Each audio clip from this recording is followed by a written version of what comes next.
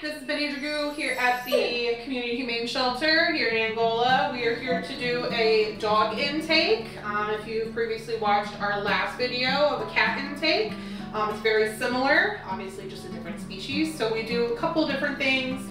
This is Dutch. He has been on our Facebook page. He was found close to the Ohio border by one of our employees near her home and she found him frozen and she got him in her vehicle and actually started warming him up and then that's when she found that he was actually wounded. So as you can see he's actually got um, staples in his back he was taken down to NIVES, the emergency um, animal hospital down in Fort Wayne upon um, veterinary advice that we had gotten from our local vet clinics up here in Angola. And upon investigation, he was completely riddled with BBs, especially in his back end area. And upon investigation, he was shot. So he is going to be our little um, intake dog today because he does need to be intaken. Um, he is due for shots, um, flea preventative, heartworm preventative, also needing a heartworm test. So he's going to get all of that good stuff done to them today. And as of right now, we are still looking for somebody to foster him.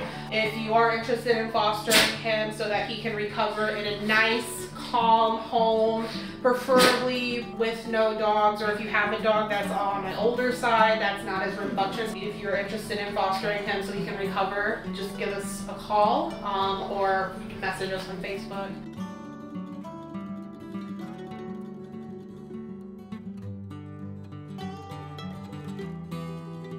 All right, so the first thing that we're gonna do is we're gonna go ahead and get his weight. 40.6. He's a big old 40.6. So we're gonna go ahead and drop some Strongid, which is a warmer. And we've already drawn up his vaccines um, here today. He's going to get, this is the Strongid, which is the warmer. Um, this is the Panas, or the um, the Bordetella for his kennel cough vaccine. And then this is the DAPP, which is the distemper to protect him from all of the common diseases um, that naturally come in to shelters um, when we bring in strays. As well as he's going to get microchips, so that way he's protected on that as well. All right, so we are going to go ahead and give him his distemper shot. We did find that he did have some tapeworms earlier, so we did give him some extra wormer before, which is called Drontal. So that would take care of like the tapeworms and all the other stuff, but it honestly doesn't hurt them to give them a little bit extra wormer just in case we miss any other worms that might potentially be in their systems. But I'm gonna go ahead and give him his vaccine. Come here, CD. Hi. Come here. So what I'm gonna do is I'm gonna kind of go down more towards where his leg is. Don't, don't look. And I'm just gonna pinch, poke. Right. And you didn't feel anything. Ah. I wish you would BBs. I don't remember. All right, now I'm gonna shoot uh, the Panazol. This is oral. It doesn't really taste very good, so I like to do that first and then the Strongid because strong juice tastes like bananas. so we like to do the bad tasting stuff and then the good tasting stuff. And she distracts him. We're gonna just nope. And Was a banana? Oh, that was another Here we banana. go. This is the microchip. Um, it's a little bit, it's a bigger needle. Um, so it, some dogs don't mind it, others do because like I said, it's a bigger needle. Um, microchipping um, is really essential with our shelter animals. Um, every dog and cat that leaves our shelter is microchipped. Um, it's just another form of identification. So whenever you adopt a dog or a cat from us, they will already be microchipped. Um, it's part of the adoption fee. It's part of the adoption process. We also provide that service to already owned pets. Um, at a $40 fee. So if you are interested in getting your pets, whether it's a cat or dog, microchipped, um, we can most certainly do that for you. Like I said, it's a $40 fee and you're more than welcome to call ahead just to see if we can get you in. And it's less than basically a couple minutes. It'll just be a, like a shot, go right between the shoulder blades. It'll be right underneath the skin. and they will be now identif- identified with that microchip.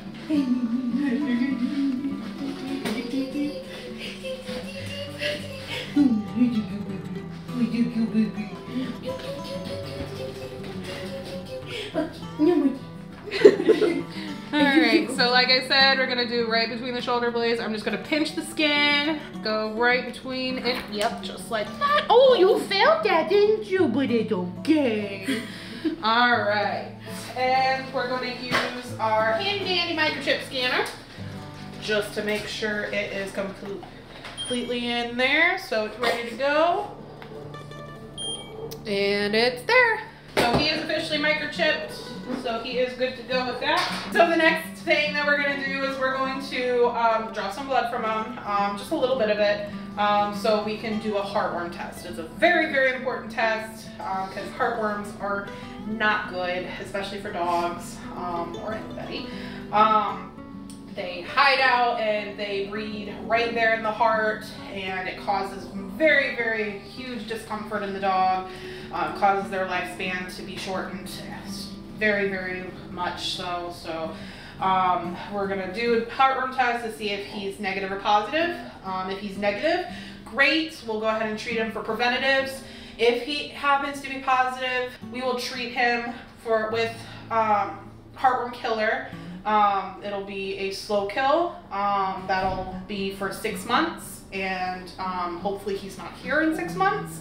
Um, but um, in a six months time, if he happens to be adopted, we offer the adopter to come right back to us, and we retest him for free and check him again. If he happens to be negative, then the killer, um, the heartworm killer, worked, and then he can move on and live a normal life. So we're gonna go ahead and get that test done. All right, so disclaimer, if anybody is very squeamish and does not like I'm squeamish. it does not like the sight of blood or the sight of needles, please look away and come back in a couple minutes. Okay, okay, okay. Boy. Good boy. Alright, so we're just adding the antigen to the sample. Gently tossing it so it don't clot. Adding it to the tester. And then into our lovely machine.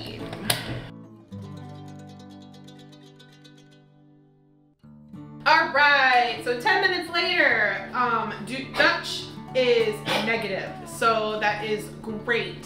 So he does not need to be on a heartworm killer, um, but he still does need to be on preventatives to make sure that he stays heartworm negative.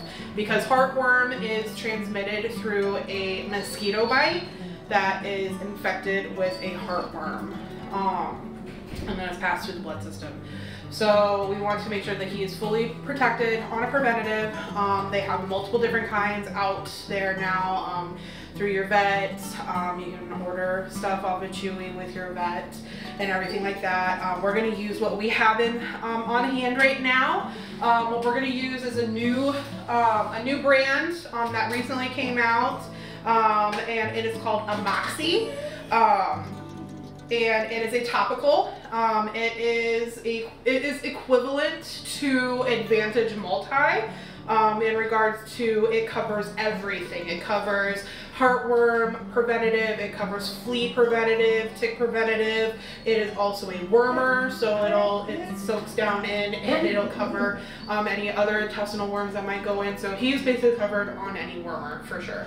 So we are going to go ahead and apply that on him. Like I said, it's a topical, so it'll just go right down his back um, and it'll just soak into the skin. So we'll go ahead and apply that right now. I'm going to go ahead and just kind of go down, kind of avoid where the microchip was implanted. That way.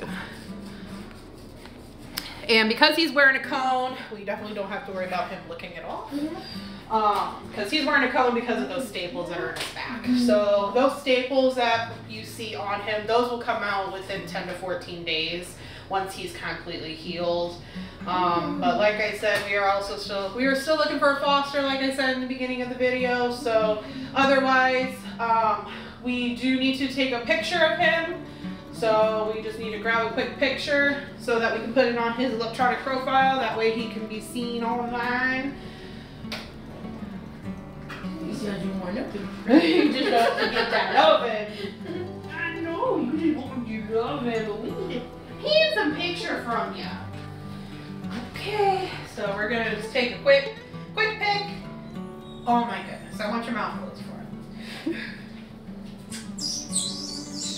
Oh, it's a good picture. It's a good picture. All right, so we'll got the picture. So we'll just upload that onto his electronic profile. That way he will be seen online. And then hopefully when he is all healed up, he will then get a scheduled um, appointment to be fixed. Once he's fixed, then he will be available for adoption. And then he will go to his good happy home.